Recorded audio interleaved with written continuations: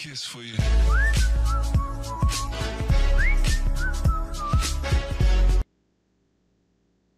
Bismillahirrahmanirrahim. Welcome back to my another video tutorial on Android app development. And so, guys, this will be the part 15 of my video series.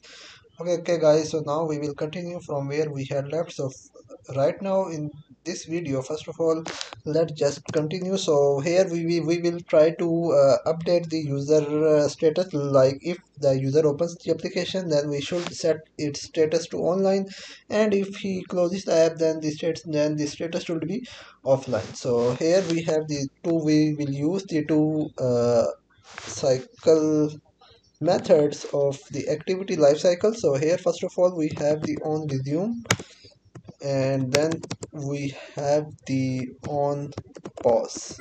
Okay so whenever the application will resume or application will open so we will try to just uh, set the, the status to online. So I just write status and here we put online. We create a method and similarly for the pause method we say offline alright so in this way we can know if the user is uh, already uh, online or not. So for that we will just create a new uh, method. So public or I think it should be private I think. Private void status and in here we have to pass on string and there we can okay so now right now we will have the reference so we will try to change the reference fb user okay. So we will create a database reference here db ref user and then we can simply say db ref user equal to file based database dot get instance dot get reference dot child. And in here we have to pass on users dot child fb user dot get user id alright and after that we will use the hash map.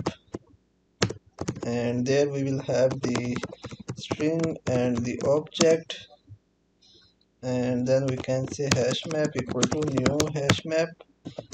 And then we can say hash map dot put. And here we will put the status and we will pass on our status object here. And then we can simply say reference sorry db ref user dot update children and in here we just have to pass on our hash map hash map yes. Okay guys so that is enough for our this uh, home screen activity. So now we will try to work on the profile activity. So let's go there. And there we already since we already have the fragment so we will have to create the xml file or i think we already have created it. So for that let me just remove it from this, this line and here we will write view view equal to inflator dot inflate R dot layout dot fragment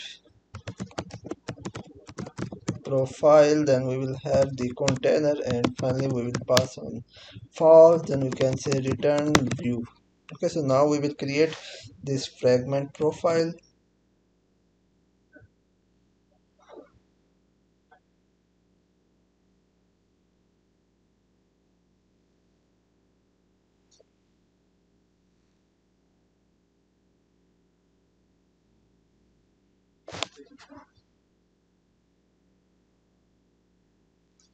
and here we will have fragment profile. Okay so now here we will work on this uh, fragment profile. So guys I think guys we will try to work it in the next part of the video. So the next part will be only on the fragment uh, profile fragment activity. So guys if you like the video please like share and subscribe to my channel. Thank you and goodbye